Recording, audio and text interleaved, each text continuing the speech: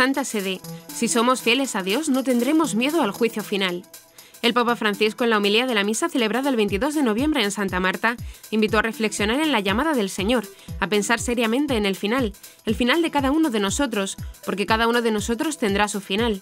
Al respecto reconoció que no nos gusta pensar en estas cosas, pero es la verdad. En esta misma línea, el pontífice aseguró que nos hará bien pensar cómo será el día en el que estaré delante de Jesús, cuando Él me pregunte sobre los talentos que me ha dado, qué he hecho, cuando Él me pregunte cómo ha estado mi corazón cuando ha caído la semilla, como un camino o como las espinas, cómo he recibido la palabra con corazón abierto, la he hecho brotar para el bien de todos o la he escondido. Por otro lado, el Santo Padre pidió, no os dejéis engañar, y el engaño del que habla es la alienación, el alejamiento, el engaño de las cosas que son superficiales, que no tienen trascendencia, el engaño de vivir como si nunca tuviéramos que morir, Así el Papa ha insistido en su homilía que debemos preguntarnos cómo me encontrará el Señor cuando venga. Haciendo nuevamente referencia a la lectura del día, el Santo Padre aconsejó ser fiel hasta la muerte y el Señor te dará la corona de la vida.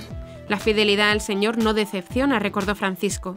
Si cada uno de nosotros es fiel al Señor, cuando venga la muerte diremos como Francisco, Hermana muerte, ven. Y cuando sea el día del juicio miraremos al Señor. Señor, tengo muchos pecados, pero he tratado de ser fiel y el Señor es bueno, recuerda al Santo Padre.